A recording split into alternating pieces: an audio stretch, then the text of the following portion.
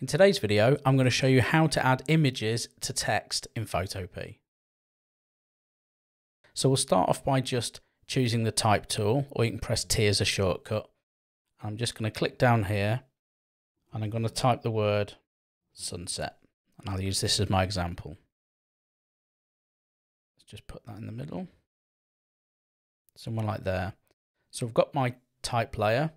Now I need to bring in an image. So I've got saved on my desktop a JPEG, which I'll just drag into Photopea Canvas and let go. And this is just a simple and easy way to actually import images into your live project. You can just drag them from your desktop or anywhere else into the live project and it will just load it in as a layer.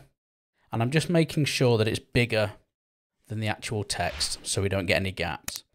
Now what you need to do is to make sure that your image is directly above the text layer that you want to apply it to.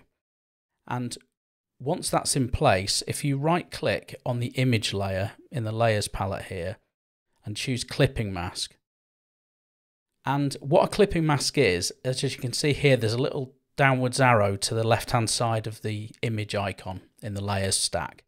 And what a clipping mask is, is it's simply only making that image visible where the pixels exist on the layer below. So what that means for us is if we go onto the image layer and we start to move it around, you can see that it moves the image within the text. So we can reposition the image within the text now and get a nice a nice balance. Maybe want a bit more of the sky in it, some of the colours there. See, I really like that. You get a bit of the sea and a bit of the sunset yellow there. So once you're happy with that, to lock this in place and make sure that the image doesn't move in relation to the text when you're then designing your project, whatever it may be. There are two ways to do it, and I'll show you both here quickly. Select one layer and then hold the shift key and select the other layer so they're both selected and go down to the bottom of the layers palette and click on the folder icon which will add them to a new folder. Now if you make sure that the folder itself is selected when you move the object it will move the text and the image in conjunction so they're kind of locked together and you can now do whatever you like to this, resize it, rotate it, and it will stay fixed position. If you wanted to adjust the position, all you have to do is just twirl open the folder in the layers panel here, just highlight the image itself, reposition, and then when you go back to moving it from the folder, it will be locked in place again. Now another way to do this, I'm just going to sort of undo that and remove the folder.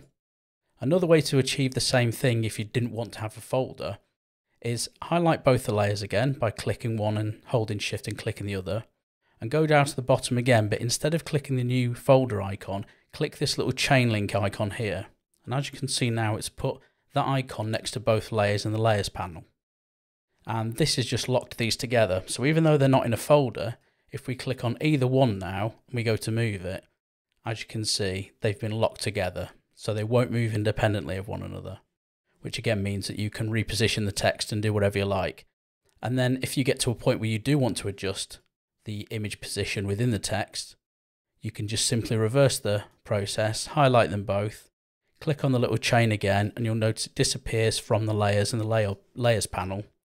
And now we're back to being able to move the image around within the text. So that's just a really quick and easy way to get really impactful text by using clipping masks to make images appear only where the pixels of the text are.